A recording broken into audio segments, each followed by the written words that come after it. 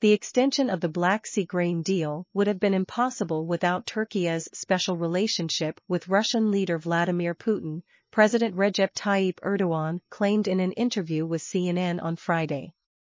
Brokered with UN and Turkish mediation last July, the initiative allows Ukraine to export its grain and fertilizer to markets around the world despite the ongoing military conflict with Russia.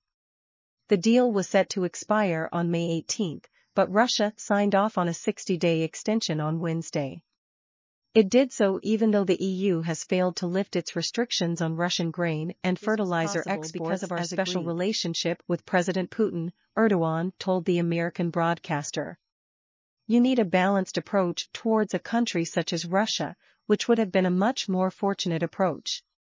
The extension of the deal was a political win for Erdogan, who has positioned himself as a middleman and potential peacemaker between Moscow and Kiev. Erdogan has spoken regularly with Putin since Russia's military operation in Ukraine began, and Turkey is the sole member of NATO that has not imposed economic sanctions on Moscow. We are not at a point where we would impose sanctions on Russia like the West have done. We are not bound by the West sanctions, Erdogan told CNN. We are a strong state and we have a positive relationship with term Russia. as president. Erdogan won the largest share of the vote in last week's election in Turkey, beating rival Kemal Kılıçdaroğlu by almost five points, but failing to break the 50% threshold necessary to earn victory outright.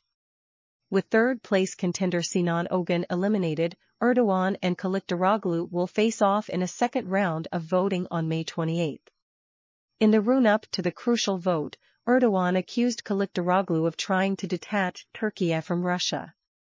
While Kılıçdaroğlu has not threatened to sever relations with Moscow, he recently accused Russia of meddling in the election, a claim that earned him a rebuke has also vowed to mend Ankara's ties with its NATO allies, including by lifting Erdogan's veto on Sweden's accession to the US-led bloc, and to immediately restart membership talks with the EU. Turkey's pursuit of an independent foreign policy depends on its strong ties to Moscow, Erdogan argued.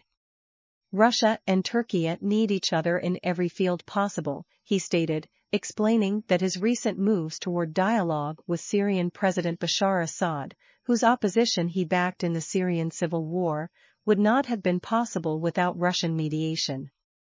Through my friendship with President Putin, we thought we could open a door, specifically in our fight against terrorism in the northern part of Syria, he said.